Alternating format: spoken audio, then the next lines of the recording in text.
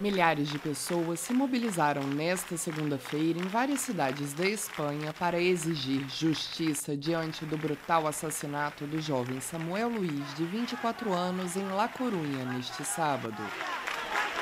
Samuel foi violentamente espancado em frente a uma boate. Ele nasceu no Brasil, mas vivia na Espanha desde bebê. Na cidade da Galícia, palco do crime, milhares de pessoas se reuniram na Praça Maria Pita, convocados por grupos LGBT que atribuíram o crime à homofobia, embora a investigação ainda esteja em andamento. Houve um minuto de silêncio que foi encerrado com fortes aplausos na praça lotada.